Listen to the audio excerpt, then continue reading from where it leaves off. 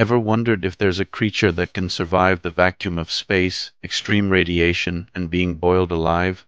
Get ready, because in the next 60 seconds, your mind is about to be blown. Meet the tardigrade, also known as the water bear. These microscopic animals are virtually indestructible. When faced with extreme conditions, they enter a state called cryptobiosis, essentially hitting a pause button on life itself. They dry out, replacing the water in their cells with special proteins, becoming a tiny, lifeless-looking ball called a tun. But here's the kicker, they can stay like this for decades. Then just add water and they spring back to life, completely unharmed. That's right, they literally cheat death. This isn't science fiction. It's happening all around us, in moss, on rocks, even in your own backyard. So the next time you think something's impossible, just remember the tardigrade. What other mind-blowing facts should we cover next?